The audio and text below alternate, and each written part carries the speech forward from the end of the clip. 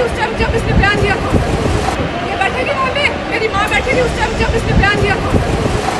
ਇਸ ਟਵੀਟ ਕਰਕੇ ਕੁਲਵਿੰਦਰ ਕੌਰ ਨੇ ਕੰਗਨਾ ਰਣੌਤ ਦੇ ਥੱਪੜ ਜੜਿਆ ਸੀ। ਕੁਲਵਿੰਦਰ ਕੌਰ, ਜੋ ਕਿ ਸੀਆਈਐਸਐਫ ਦੇ ਵਿੱਚ ਜਵਾਨ ਤਨਾਤ ਹੈ, ਉਹ ਚੰਡੀਗੜ੍ਹ 에ਅਰਪੋਰਟ ਤੇ ਉਹਨਾਂ ਦੀ ਡਿਊਟੀ ਲੱਗੀ ਸੀ। ਕੰਗਨਾ ਰਣੌਤ ਆਉਂਦੇ ਨੇ, ਕਿਸਾਨੀ ਅੰਦੋਲਨ ਨੂੰ ਲੈ ਕੇ ਬਹਿਸ ਹੁੰਦੀ ਹੈ ਤੇ ਕੁਲਵਿੰਦਰ ਕੌਰ ਕੰਗਨਾ ਰਣੌਤ ਦੇ ਥੱਪੜ ਜੜ ਦਿੰਦੇ ਨੇ ਤੇ ਉਹ ਜਿਹੜੇ ਕੁਲਵਿੰਦਰ ਕੌਰ ਨੇ ਇੱਕ ਵੀਡੀਓ ਦੇ ਵਿੱਚ ਕਹਿੰਦੇ ਹੋਏ ਨਜ਼ਰ ਵੀ ਆਏ 100-100 ਰੁਪਏ ਵਾਲੀ ਗੱਲ। ਜੀ ਹਾਂ, ਤੁਹਾਨੂੰ ਦੱਸਦੇ ਹਾਂ ਕਿ ਕੰਗਨਾ ਰਣੌਤ ਦੇ ਵੱਲੋਂ ਇੱਕ ਟਵੀਟ ਕੀਤਾ ਗਿਆ ਸੀ, ਕਿਸਾਨੀ ਅੰਦੋਲਨ ਪਹਿਲਾ ਜਦ ਹੋਇਆ ਸੀ, ਉਸ ਵੇਲੇ ਇਹਨਾਂ ਨੇ ਟਵੀਟ ਕੀਤਾ ਸੀ, ਇਹਨਾਂ ਨੇ ਲਿਖਿਆ ਸੀ ਕਿ ਹਾ ਹਾ ਹਾ Shri is the same dadi who featured in Time magazine for being the most powerful Indian and she is the available in 100 rupees.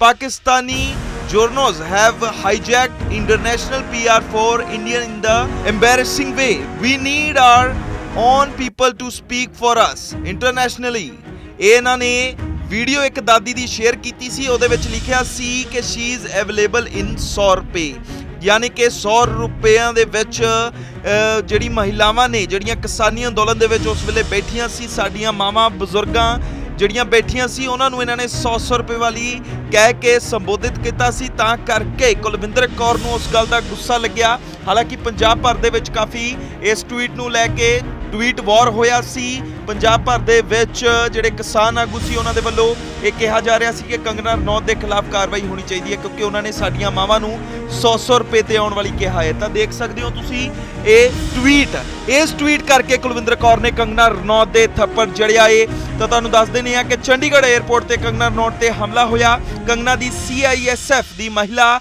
ਮੁਲਾਜ਼ਮ ਦੇ ਨਾਲ ਮਹਿਸ ਹੋ ਜਾਂਦੀ ਹੈ। ਸੀਆਈਐਸ ਦੀ ਮਹਿਲਾ ਮੁਲਾਜ਼ਮ ਦਾ ਨਾਮ ਕੁਲਵਿੰਦਰ ਕੌਰ ਦੱਸਿਆ ਜਾ ਰਿਹਾ ਏ ਜੋ ਕਿ ਸੁਲਤਾਨਪੁਰ ਲੋਧੀ ਦੀ ਰਹਿਣ ਵਾਲੀ ਦੱਸੀ ਜਾ ਰਹੀ ਹੈ। ਸੁਲਤਾਨਪੁਰ ਲੋਧੀ ਦੀ ਰਹਿਣ ਵਾਲੀ ਕੁਲਵਿੰਦਰ ਕੌਰ ਕਿਸਾਨ ਆਗੂ ਪੰਧੇਰ ਦੀ ਜਥੇਬੰਦੀ ਦੇ ਨਾਲ ਇਹਨਾਂ ਦਾ ਪਰਿਵਾਰ ਸੰਬੰਧਿਤ ਹੈ। ਜੰਮੂ ਦੇ ਵਿੱਚ ਵਿਆਹੇ ਹੋਏ ਨੇ।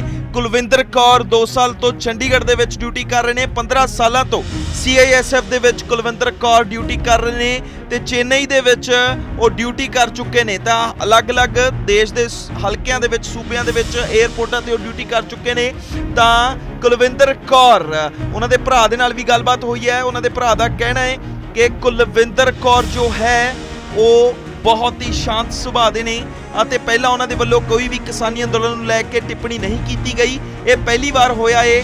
ਕਿ ਉਹਨਾਂ ਨੇ ਕੁਲ- ਕਿਸਾਨੀ ਅੰਦੋਲਨ ਨੂੰ ਲੈ ਕੇ ਆਵਾਜ਼ ਚੁੱਕੀ ਹੋਵੇ। ਹਾਲਾਂਕਿ ਪੂਰਾ ਪਰਿਵਾਰ ਜਿਹੜਾ ਹੈ ਕਿਸਾਨੀ ਅੰਦੋਲਨ ਦੇ ਨਾਲ ਜੁੜਿਆ ਹੋਇਆ ਹੈ ਪਹਿਲੀ ਅੰਦੋਲਨ ਤੋਂ ਲੈ ਕੇ ਦੂਜੇ ਅੰਦੋਲਨ ਤੱਕ ਪੂਰਾ ਪਰਿਵਾਰ ਕਿਸਾਨਾਂ ਦੇ ਨਾਲ ਖੜਿਆ।